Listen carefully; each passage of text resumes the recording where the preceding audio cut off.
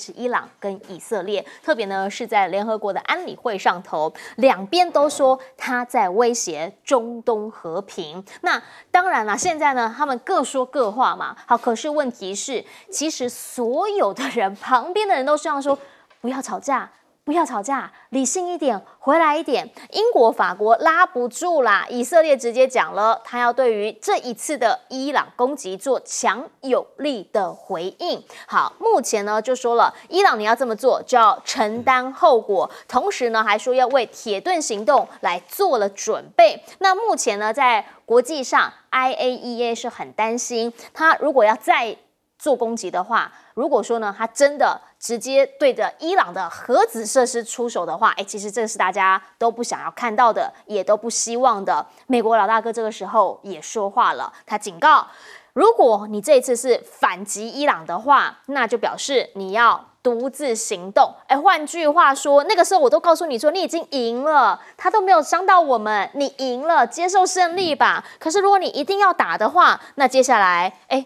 就是靠你自己喽。我们能帮忙的是防御性的，不是攻击性的。你要不要这么做呢？伊朗这边国防部长直接讲了，说因为我别无选择啊，他这样子打我，我只能够。做出回应，好，可是也在这个时候，大家看到更多当时的新闻信息，因为。美国好像在上一回是直接下场了。伊朗官员出来爆料说：“你知道吗？伊朗先前在袭击我们之前，美国不是一直告诉我们说要小心，要小心？你知道在袭击当下，其实有个美国军官就坐在我们的舰式反导控制室里头。也就是说呢，他们那个火箭来或无人机来的时候，会有一个反导飞弹，那个反导控制室里面就做一个美国军官，他就直接跟美国这边来做协调工作。诶，换句话说，美国。”是不是这一场基本上你也加一了呢？好，这些是相关内幕，但是现在大国已经说了不要打，中国这边的反应也很明确。好，王毅呢有跟伊朗还有沙国外长通话，说伊朗能把握好局势，什么意思？王毅的原话是说，注意到了这一次他们所采动有行动是有限度的，而且呢，他认为这次的行动是针对上一回管涉遇袭事件行使自卫权。所以呢，他有限制的、有克制的在攻击，他认为是为了要避免进一步的动荡。可是以色列对这样的讲法是表示失望的，他期待北京有更强烈的谴责。那伊朗的讲法就是说呢，啊，我们本来就是必呃以自卫啊作为反击，我们已经说了，就作为那一次世界的反击，我们现在那一笔烟消云散，一笔勾销，接下来要再打，那就是。从头计算好，而且呢，现在也发现法国这边好像也在上一场又聊了 key，因为马克宏也证实了说，应约旦要求拦截伊朗的无人机。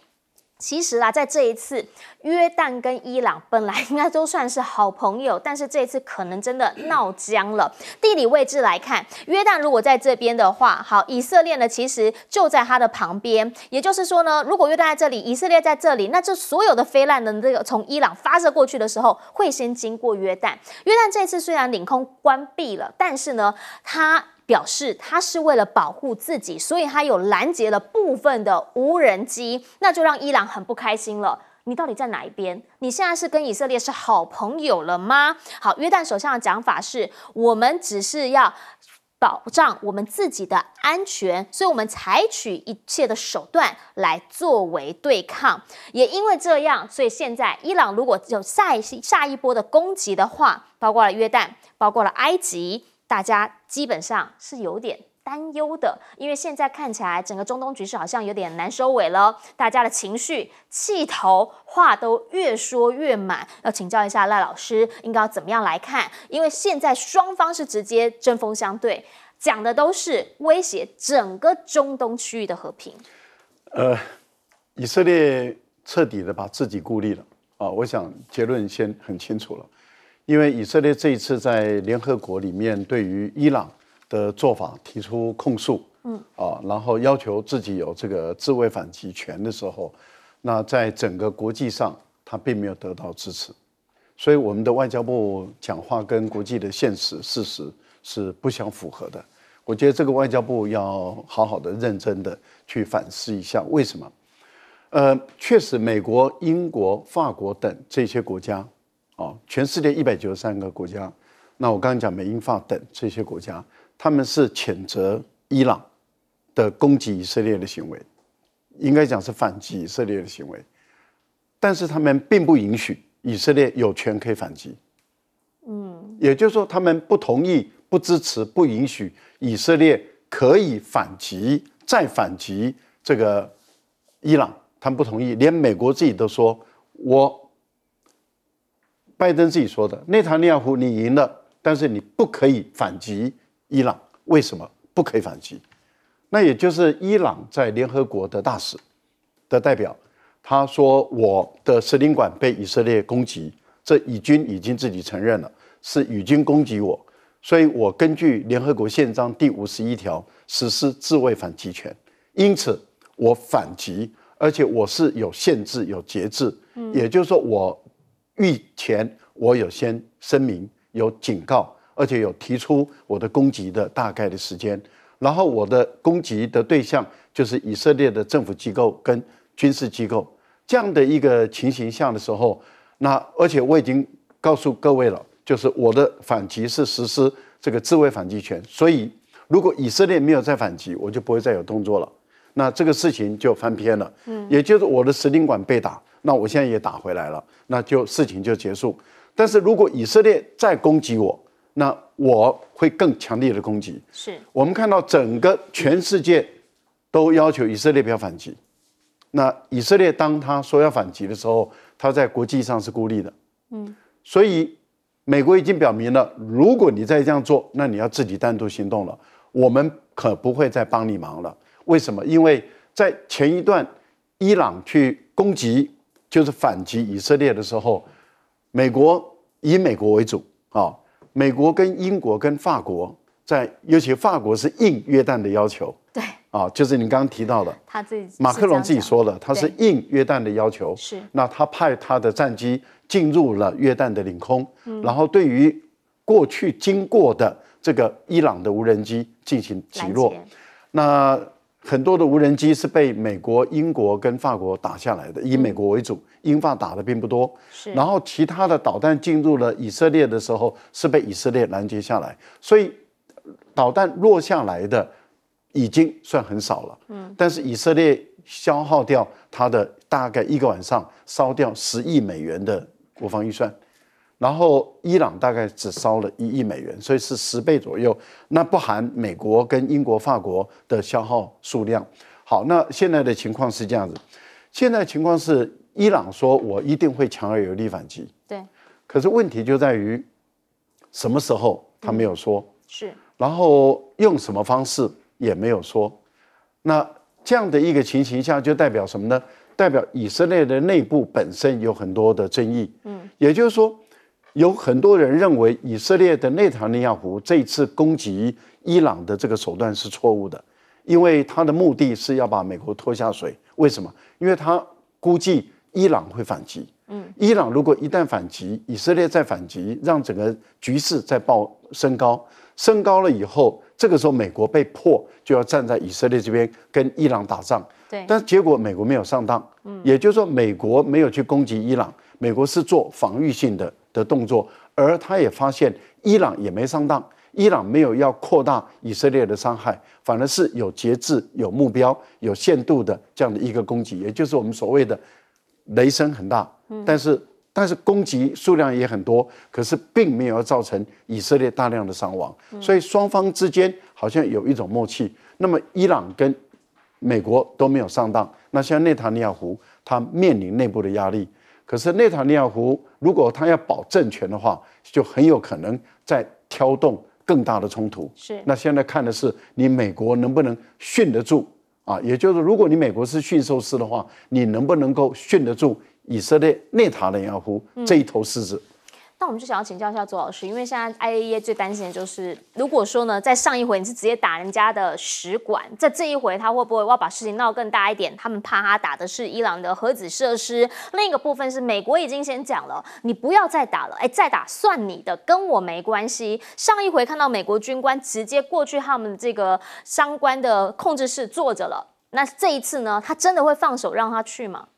我我认为美国不会的哈。第一个，我我第一个，我认为这个攻击伊朗的核核子设施，大概我觉得以色列没有办法承受这个代价，因为它会造成核污染，那么它也会这个必迫使伊朗必须要采取更严厉的报复，这些都不是以色列能够承受的。因为对于以色列来说，如果他还会采取行动，大概。我觉得最有可能去解释这样子之的行动，就是说，哦，因为这是从伊朗本土对他的攻击，所以呃，纳坦雅胡希望能够通过这样子一个反击去巩固他国内的支持，而且能够因为这个战争的状态，使得大家必须要更加的团结。我觉得大概只有从这些理由，但这这两个理由都没有办法去。呃，支撑就是说，他要采取这么严厉的一个报复手段啊。那毕竟这个报复是有很很大的这个代价要要付出的。那我觉得其实美国的态度是最值得观观察的，因为美国事实上呢。呃，虽然他是说他一定会保护以色列啊，那他也的确派了这个两艘的驱逐舰来，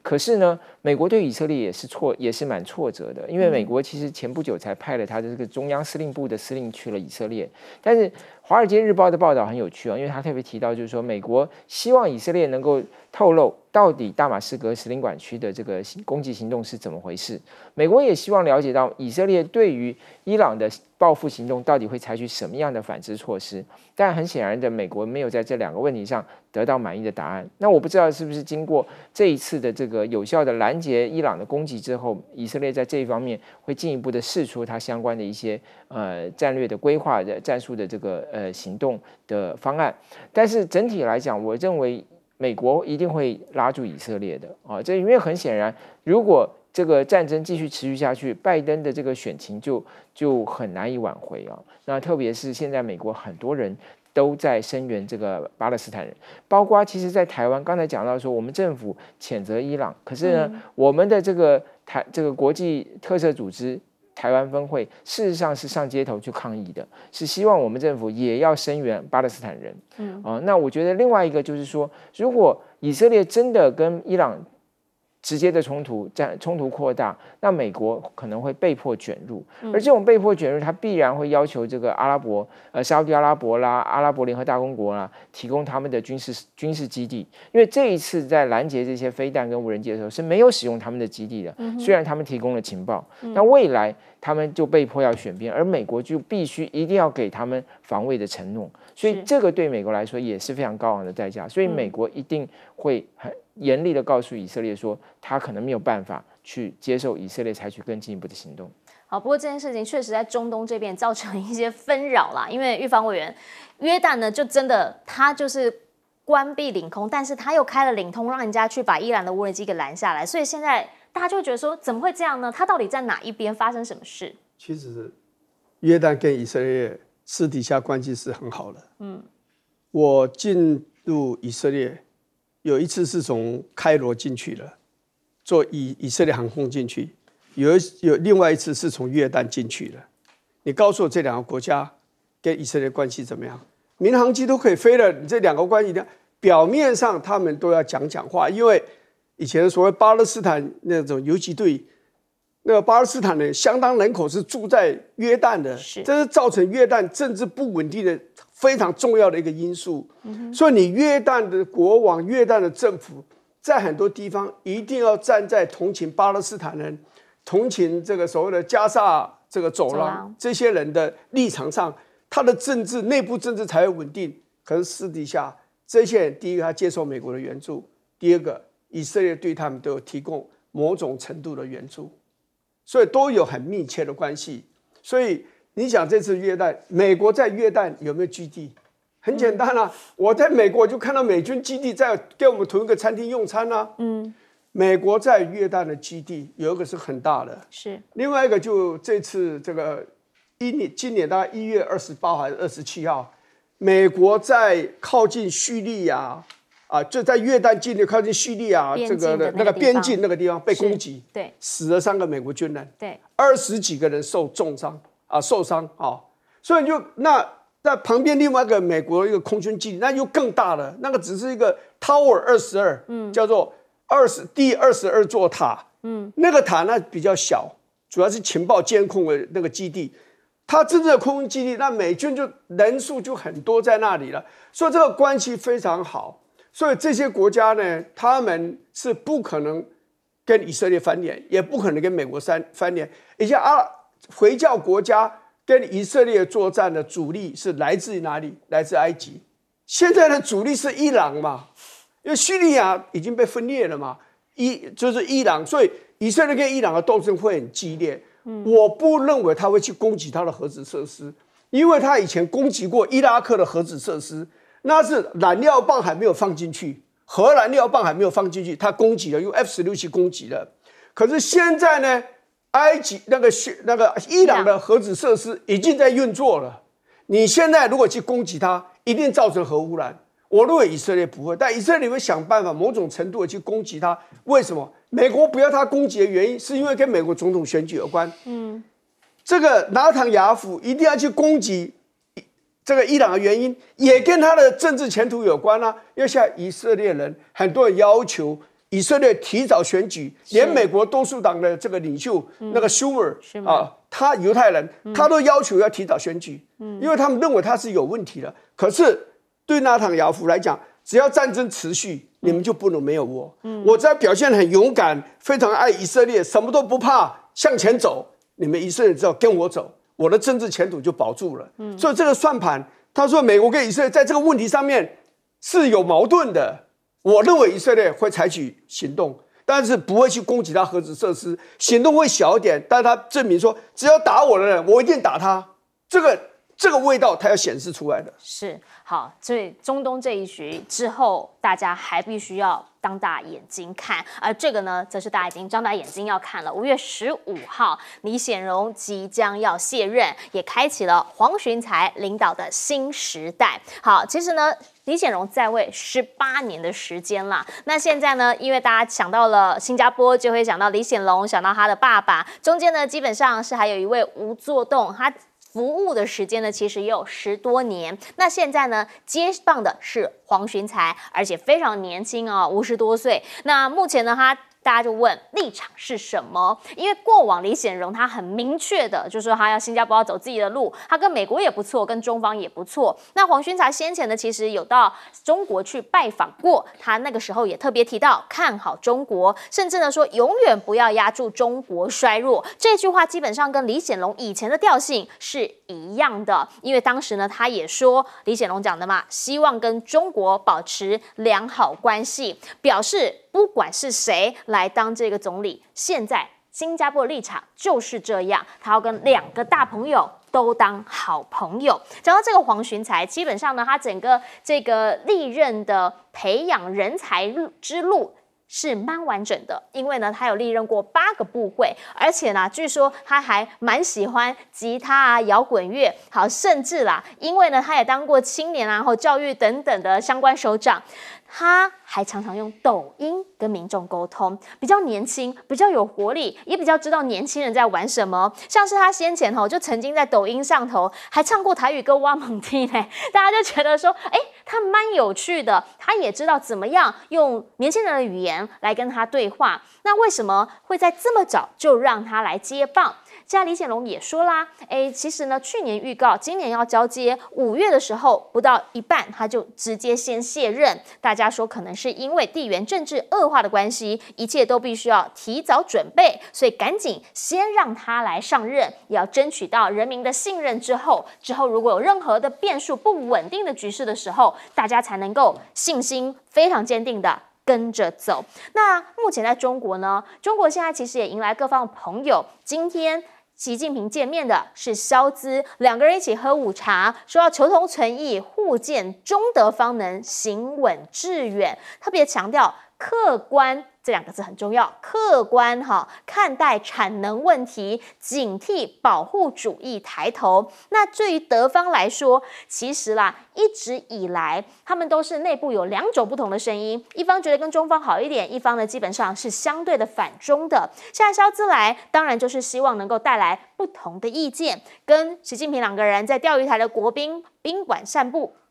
大家就讲了，这个呢，现在代代表团是携带着空白手机回国呢，甚至还要视情况来报废，表示说，其实他们内部里面对于到中国这个地方，还是有些人会有顾虑的。可是呢，德国总理人到上海。基本上入境随俗，也会说一些话。特别他讲到了台海，但是他是怎么讲的呢？他说：“强大邻居不应令人害怕。”好，现在讲的这一些话，北京会怎么样来看他的发言？或者说，对于中德关系会起到什么作用影响？回过头请教一下赖老师。呃，李显荣即将五月十五卸任，也开启了黄循财的新时代。新加坡要在东盟的地方生存，其实不容易啊，因为国家面积小，城市国嘛，啊，人口也不少啊，密度高，然后人均的所得这么的高，维持全世界排名前十名的这么高的人均所得是不容易的一件事情，所以他们对于整个国家的领导人的培养是非常的谨慎、非常的仔细，而且是全方位的培养，不管是这个。啊，李光耀时代吴作栋，或者是我们看到李显龙，一直到现在黄宣才，他们基本上基都是全能的。也就是说，他的经历历历练是必须要完整的，因为这样的一个在周边都是大国的生存中，而且他必须要在平衡中美两大国之间，然后要在东盟的国家里面起相当的引领领导的作用。这个新加坡的政府不容易，坦白说是。特别辛苦，那么考验也特别多。我觉得李显龙在他目前来讲情况都还很好的时候，提前交班，那由黄宣才来接，他还可以从中在旁协助一下。我觉得这个对新加坡是好件事，是好事，对黄俊才也是好事。那我推我推断了啊，黄俊才上来的时候，我觉得他会根续李光耀他们一路下来的这个基本的调性跟政策。然后在中美的两大国之间，过去啊，他们是走平衡，但是比较偏美。对，我觉得到黄循财的时候，应该是会更加的平衡，嗯，不会再更加的偏偏美。嗯那么会更加的平衡的情形下，很有可能在明年后年，可能到后年的时候，同样的新加坡的这个智库所做的民调中。新加坡，例如说，在呃二零二三年，新加坡的民调就是对整个新加坡的精英，包括政商学界，还有就是 NGO 等这些领袖所做的这个大规模的民调中，新加坡是在整个东盟国家排名第三名亲美的，也就是比较不亲中人民哦，比较亲美，大概有六十几趴是亲美的，因为他的问题是，假设中美之间你只能选一边，嗯，那新加坡。选择美国比较多，那其他的五个国家都是选择亲中啊。那亲美的其实就是菲律宾、嗯、越南跟新加坡，新加坡排名第三。我的估计，新加坡在黄俊才的领导下，那么经过两三年以后，很有可能亲美的比重会减少，哦，可能会不到六成的，可能在五成多。因为这个道理很简单，一方面是美国在衰败，二方面是中国在崛起，更加的崛起。它不只是崛起，是更加的崛起。而以新加坡，它目前跟中国的经济关系远比跟美国的经济关系更加的好的情形下，而中国大陆的整个国防工业跟军事工业能够满足啊这个东盟国家需求的分量，其实是越来越大。我们看到，像泰国现在跟中国大陆购买的军事武器，包括潜舰。包括战机，甚至印尼未来跟中国大陆购买的可能性都越来越高的情形下，我觉得新加坡的平衡是会啊更朝中国大陆的方向走一些。因此估计啊，就新加坡跟中国的经济关系发展可能深度会更高。嗯啊，那“一带一路”里面参与的深度可能会更高。呃，这一次德国的总理到中国大陆来访问，这个显示出一个非常明确的讯号了，也就是说。他们这一届的政府，因为肖尔兹从上来了以后，他刚好就是在拜登总统时代，他们就整个推动去中国化，去风险。那这样的情形下，早期整个德国的团队追随美国，可是这三年以来，德国在整个欧洲的经济表现最差，它的经济事实上已经亮红灯了。很明显的，肖尔兹他现在又回到梅克尔的路线了，嗯，也就是说，开始往梅克尔路线转移，而不是。背离梅克尔的路线，从这个角度来看，你看他这次带来的庞大的德国都是最前面的这些整个工商企业团，那么重新再经营中国这块地，这个代表整个德国的路线又回到梅克尔，摆摆来摆去，摆到最后还是梅克尔获胜。我们先接下广告，广告回来我们继续请专家点评。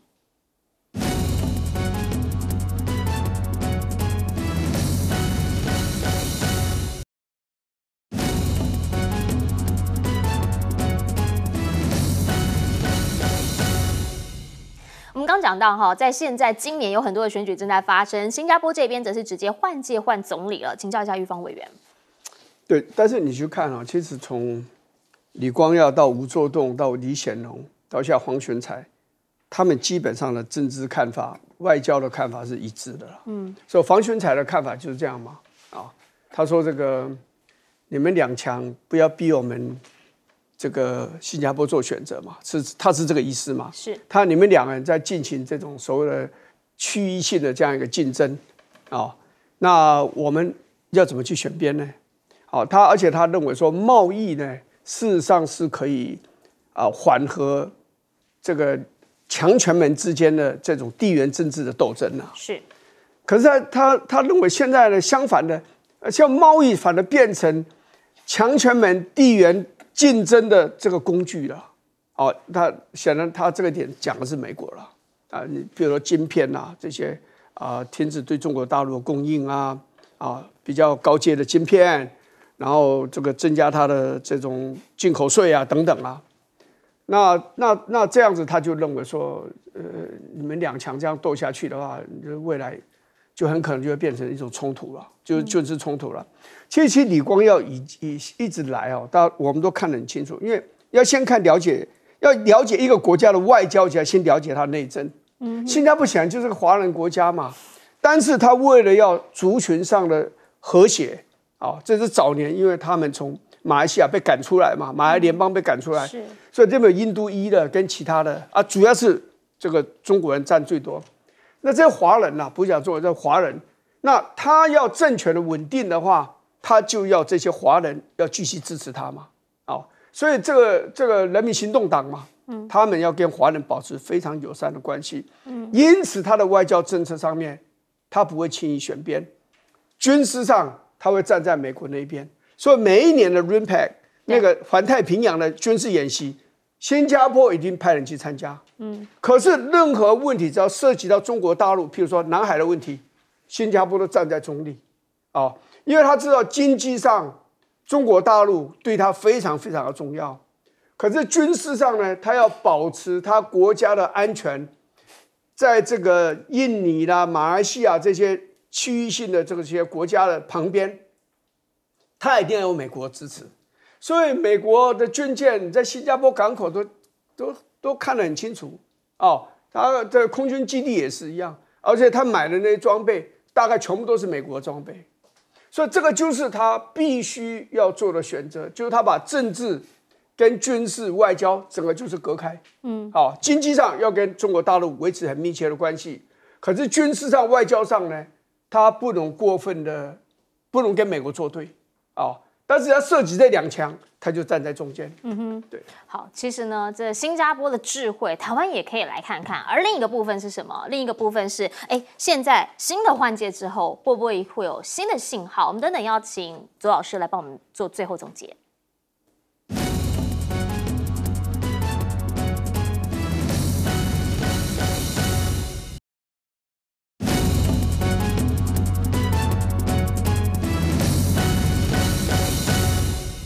节目最后要请左老师总结。好，第一个我们看到就是李显龙交棒这个事情有几个重要的政治讯号。第一个就是表示说，新加坡的家族政治或家族家族传承会暂时告一段落。所以暂时，当然，因为你你不能保，你不能说肯定说未来李家不会再有人呃进入政坛，但是最起码在我们目前看到没有在这个接班团队里头，不像当时吴作栋呃接任总理的时候，那时候李显龙就非常非常明显的会是他的一个呃接班人。那所以这是当然，我觉得他是要展现，就是说人民行动党是超越这个李家的家族家族政治的，人民行动党是可以长期执政的。第二个。因为黄行才这个呃新任的即将接任总理的，当然他是呃非常呃年轻之外，他的这个风格也是非常年轻。刚才主持人讲到，他会在他有自己的抖音账号，然后在抖音上会唱歌，唱台语歌，然后弹吉他。那他还有很多很多轻松的画面，他的讲话也非常的接地气，也非常的这个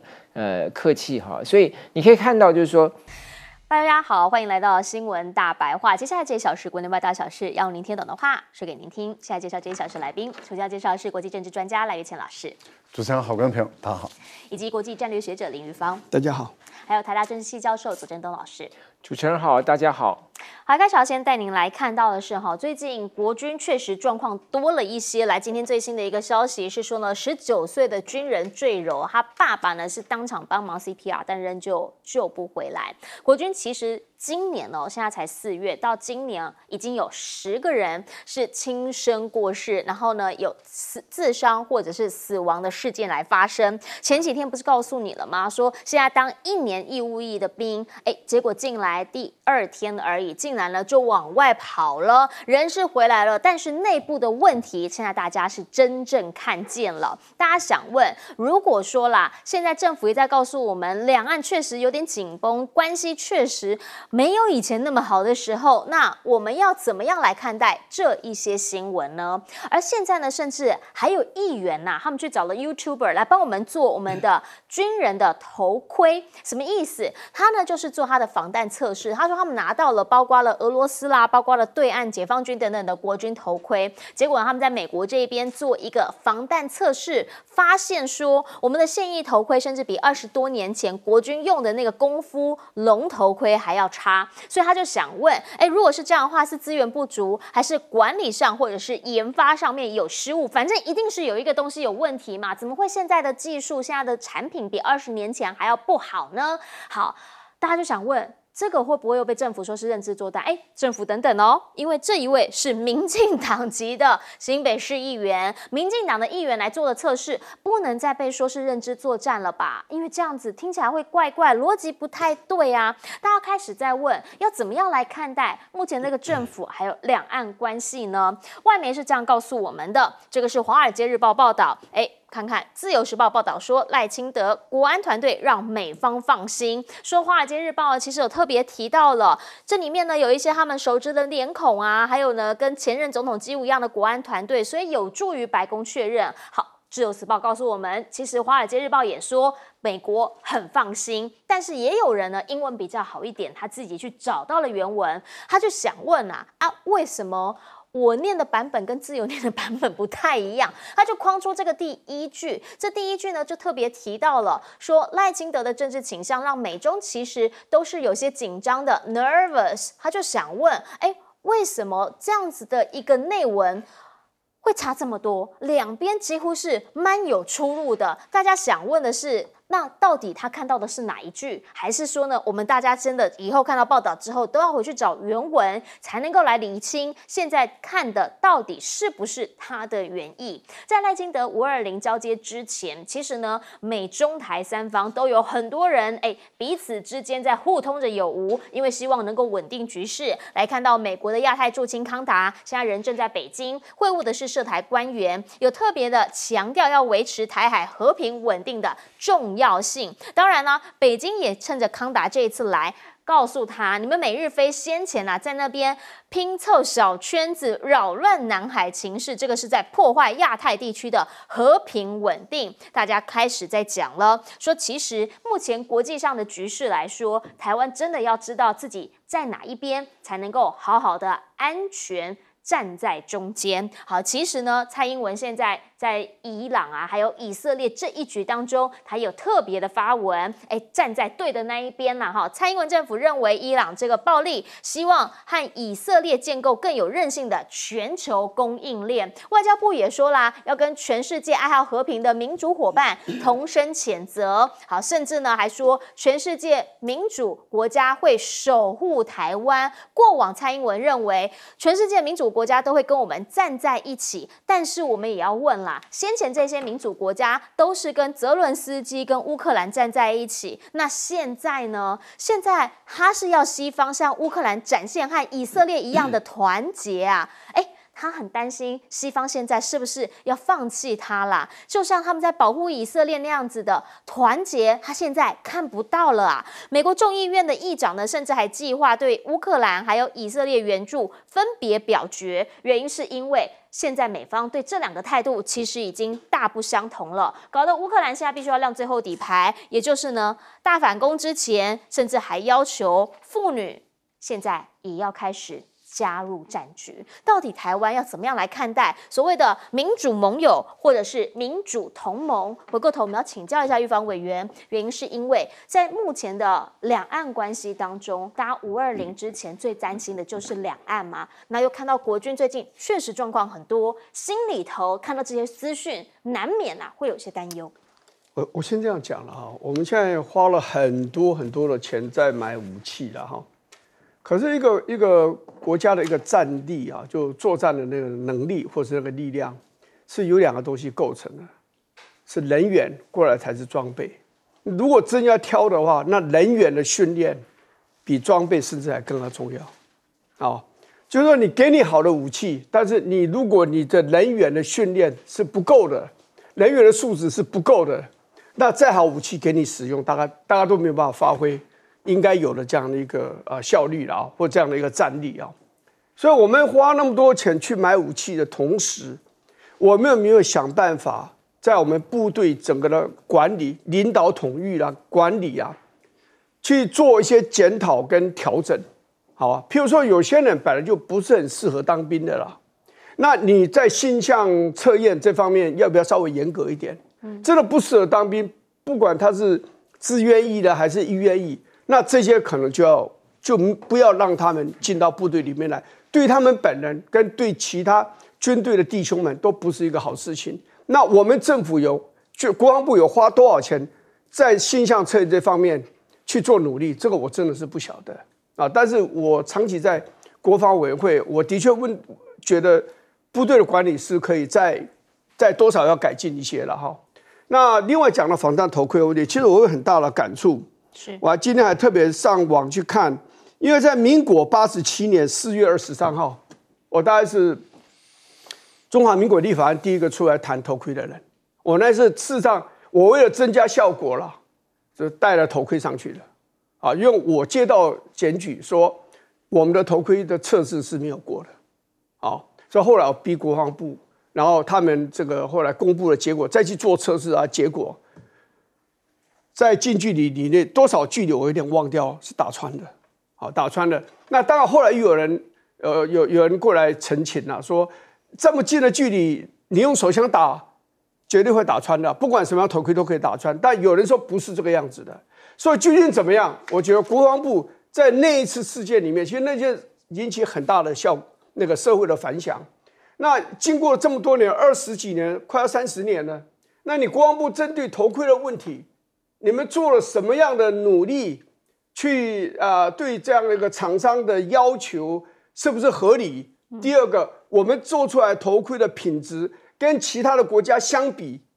我们是不是合乎国际标准？这个国防部真的要出来交代，因为你买再多的好的武器，那单兵就是每一个士兵，他们对他们影响最大，保护他们最多了。装备里面其中一个最主要就是头盔嘛，因为保护他脑袋嘛。是，如果这方面你都没有办法让士兵们、官兵们戴一顶可以保护他们脑头部的这样一个呃装备的话呢，那你买再多的飞弹啊、战机啊，我是觉得就有一点啊叫顾此失彼啊。我认为这是不好的了哈。啊，尤其民进党不是要叫打巷战吗？打巷战那头盔更重要了，不是吗？嗯，对。所以这是我要讲啊。另外一个就是说，讲到伊朗跟以色列的问题了啊。像我们这种国家，最好不要轻易的选边了哈。因为这个事情要真的要讲的话，我上次我记得我在那边讲过，其实我有很多犹太人的朋友，我跟他们都处得很好。因为我以前是中华民国以色列国会联谊会的会长，所以我我长期有跟以色列人打交道的经验。但我要讲一件事，这次为什么伊朗会用用导弹这些无人机去攻击以色列呢？因为你去炸人家在。这个叙利亚的那个大使馆嘛，啊，那个那个使馆嘛，然后你把人家炸死了几个高级将领，还有其他还有一些人，加起来不少人啊，所以他等于是一种报复嘛，啊，所以这次西方国家是因为犹太人的影响力真的是太大了。法国财政部长就是犹太人呐，美国的财政部长也是犹太人呐，哎，对不对？那美国的这个国务卿也是犹太人呐，美国参议院多数党的领袖休姆尔也是犹太人呐，对不对？很有名的参议员 Sanders 也是犹太人呐，所以犹太影响力真的是很大。不过我是有在这里面，我还是觉得发动战争总是不好的啦。不过以色列，你先攻击了人家，然后你再来批评人家侵略你，这个也有点说不过去了。我是认为所有的战争都应该被停止，包括加沙走廊。嗯，任何人想用武力解决领土问题、解决任何的争端，我认为都是不好的。因为最惨的是，不是躲在碉堡的那些主其事者，最惨的是那些无助的平民百姓。他们是战争最大的牺牲者啊，所以我觉得我基本上我是反对战争的原因是在这里的。是好，我们也想要请教了，在目前国际的局势上面，大家呢基本上大部分的台湾人，大家看这个网络上面讯息啊，划手机，我们还是会倾向于看我们自己比较熟悉的台湾媒体。但想要请教一下左老师，因为真的比较少人会直接去看原文，所以看到台湾媒体就相信了，结果现在呢却被网络上的网友说。那个报道跟我读的原文不一样，那大家又开始在问了，那所以呢，真相到底是什么？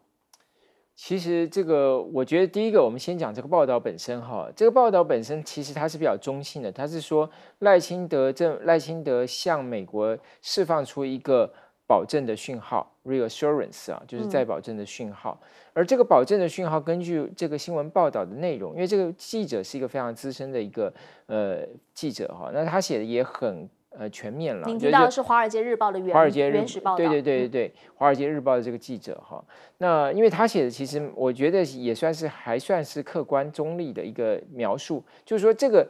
保证的讯号内容是什么？就是赖清德会任命蔡英文政府时代的国安团队来继续在这个他未来的政府里头。其实他讲的就是这件事情啊。那当然，他特别琢磨两个人，一个人呢就是顾立雄，强调了国军的呃国防的改革；另外一个就是他有大概有提到就是这个呃邱垂正哦，而呃没有林佳龙，邱垂正的篇幅再少一点，就是林佳龙跟呃顾立雄，大家谈的最多是这两位啊。好。那这个到底跟我觉得跟呃康达到北京去，我觉得有一点关系。为什么呢？第一个，他在讲到赖清德所释放的这个保证的讯号里头，并没有讲到在五二零就职的赖总统，他将会提出什么样的一个两岸的政策。我觉得，因为美国人关心这个，可能更胜于他的一个外交的人士。那这说明。第到目前为止这一部分，其实赖总统当选人还没有向美方做一个比较完整的阐述，或者这个阐述呢，仍然在他的进行过程当中。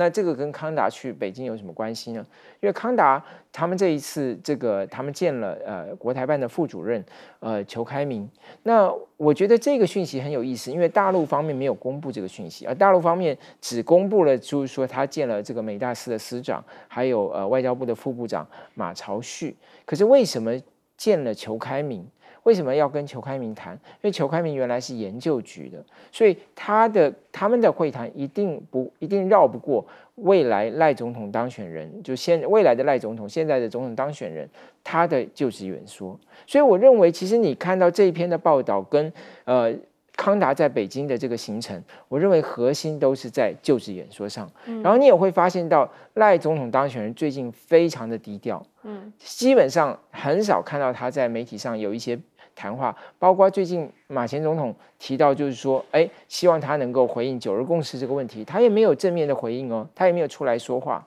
所以我认为这个问题正是在。三两岸三方啊，就是台美中三方面正在就这个问题做密切的协密集的协商，而且美国跟中国大陆是两个主要的这个协商者。那最后要谈一下康达到北京去访问，因为康达到北京去访问，我发现一件非常有趣的事情，就是美国国务院的公布是非常完整的，可是美呃大陆的外交部公布的相对简单一点，而且大陆外交部特别区隔了两个角色，就是马朝旭接见了。这个呃康达一行，然后是谁跟他会谈的？是美大司的司长杨涛跟他会谈，就是他很重视说，哎，因为你的这个位阶是相当于我的司长，所以我只有这个层级的人跟你会谈。所以同样，他也是安排了裘开明去跟他谈，因为他觉得这个层级是比较接近双方的这个呃双方的位置哈。那我觉得在这个细节上的讲究，就表示大陆在这个问题上，他也很注意他国内的反应，就他内部会怎么去看这件事情。第一个。你他不愿意在他内部的新闻稿上呈现，就是表示说美国人不能够介入我们这个台海的事情，但是他又要强调说，哦，他们有这个所谓捍卫大陆对于台湾问题的一些立场，所以你看他非常注意他国内的反应，但另外一方面，大陆还是重视双方的沟通，因为非常清楚的，现在要能够让台海双方稳定下来，大陆跟美国之间的沟通是至为关键的。嗯，请教一下赖老师。美国的《华尔街日报》的整篇文章里面，并没有谈到说美国满意这个赖清德的国安团队，没有。但是台湾的这家媒体却把他说美国对于赖清德国安团队是表达满意的。但是他去查了原文了以后，发现整个原文《华尔街日报》里面没有引述，也没有谈到说美国的拜拜登政府是满意于赖清德国安团队。那他就觉得很奇怪了啊，就是说，如果按照原文来看的话，他觉得语义中更是美国对赖清德的不信任，所以赖清德是想要让美国去信任他，让美国去满意他。那也就是前提是在于《华尔街日报》认为拜登对于赖清德不信任，赖清德想要美国信任，但是并没有谈到美国就因为赖清德的国安团队。而就对于赖清德信任了，那怎么可以把这个作为标题呢？我相信啊，这个报社的国际新闻组，它的英文程度不会差，嗯，因为我们都知道，在报社里面，尤其要做外电翻译的时候，那些国际新闻人员的英文的实力应该是相当的可以被信任的。但是怎么会报纸出来的头的标题跟内文却是不一样？那如果说我们再去看看原文，我们发现确实跟精神内涵都不一样的时候，那这个报社就有点扭曲外电的这样的一个报道，这个就是一个对于新闻的不负责任，对于自己处理新闻翻译，甚至在写中文的时候写出来的一种有点欺骗读者的这样的一个做法，这样当然会使这个读者。对于这个报社失去信任、失去信心，我们都知道，新闻最主要是要来自于建立读者对我们的信任。可是，当我们的内容、我们的分析使使读者失去信任的时候，这个就是自己堕落了。我觉得，一个新闻媒体不能够为了政治服务而让自己堕落。你可以做评论，但是你不可以去乱翻译。也就是说，你可以写一个评论文章来表达你的立场。可是，在翻译文里面，你就不可以去随便篡改人家的意思。我觉得这个是一个很基本的一个道德修养，尤其新闻素养的一个基本。如果连这个样的一个新闻素养都可以丢弃的话，那这个媒体基本上来讲就很值得去思考了。好，